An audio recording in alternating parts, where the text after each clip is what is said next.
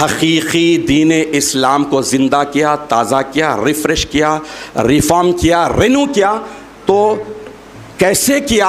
अब इसके लिए एक छोटी सी मिसाल आपके सामने रखता हूँ।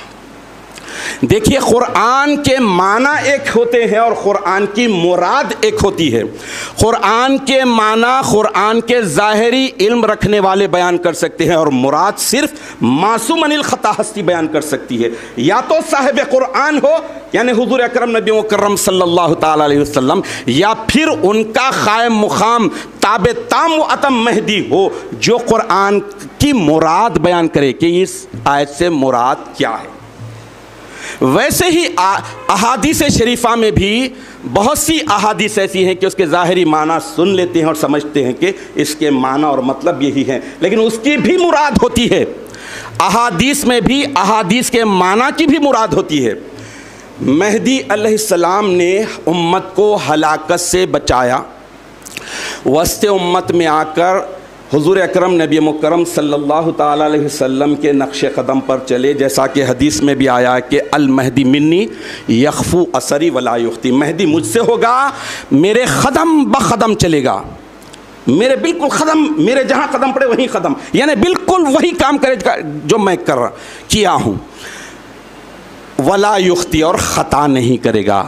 मासूम ख़ता। तो महदी अलैहिस्सलाम इस दुनिया में तशरीफ़ लाए। इस्लाम को, हकीकी दीन इस्लाम को रिफ़्रेश किया। कैसे किया? इसके लिए एक छोटा सा वाक़ अल्लाह के ये खलीफ़े महदी आखरुज़मा जब तशरीफ़ लाए तो दुनिया में हर तरफ़ हलाकत। खान खाहें मौजूद, नमाजें मौजूद, ज़क़ातें दी जा रही थी, हज किए जा रहे थे, सब कुछ था। लेकिन हकीकी दीन इस्लाम, रूह इस्लाम, मगज़ इस्लाम जो अल्लाह की इबादत के एवज़ में बदल में मिलती है, वो अल्लाह की ज़ात। वो नहीं था। तो महदी इस्लाम की दावत की वजह से कैसे मिला? एक मरतबा का वाक़ है। हजूर महदी माऊद सलात तस्लीम मिसवाक कर रहे थे। मिसवाक सूखी काड़ी से की जाती है।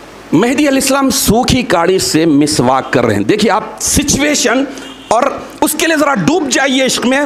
मंज़र को देखिए, मंज़र के अंदर डूब जाइए तो आपको अंदाज़ा हो जाएगा कि क्या प्यारी बात है।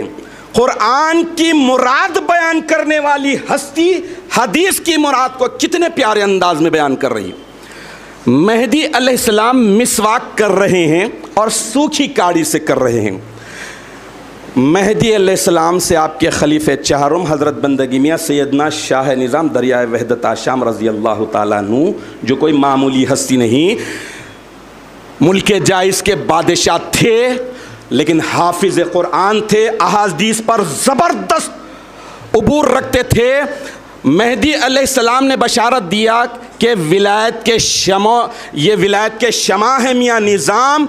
ऐसे शमा, ऐसे कैंडल हैं कि इनसे कई कैंडल और कई शमा जलेंगे। वो इल्म का समंदर हदीस पड़ी हुई, वो हस्ती हज़रत शाह निज़ाम रज़ी अल्लाह तु महदी सलाम से पूछते हैं कि मीरान जी, बंदे ने अहादीस में पढ़ा है, गौरतलब बात है। बंदे ने अहादीस में पढ़ा है कि जब मेहदी की बेसत हो जाएगी तो मेहदी की बेसत होने की वजह से सूखे दरख्त ड्राई ट्रीज जितने होते हैं, वो हरे भरे हो जाएँगे। मेहदी आए मैजिक की, और हरे भरे हो गए। जाहिरी हदीस में यह चीज़ है मौजूद। हज़रत शाह निज़ाम, दरियाए वहदत आशाम रज़ी अल्लाह तु जो पढ़े थे उसको बयान किया। क्या? कि मीरान जी, बंदे ने अहादिस में पढ़ा है कि मेहदी जब दुनिया में आ जाएँगे, मेहदी आएँगे तो मेहदी की बरकत से सूखे दरख्त हरे भरे हो जाएँगे। मेहदी सलाम सूखी काड़ी से मिसवाक कर रहे थे।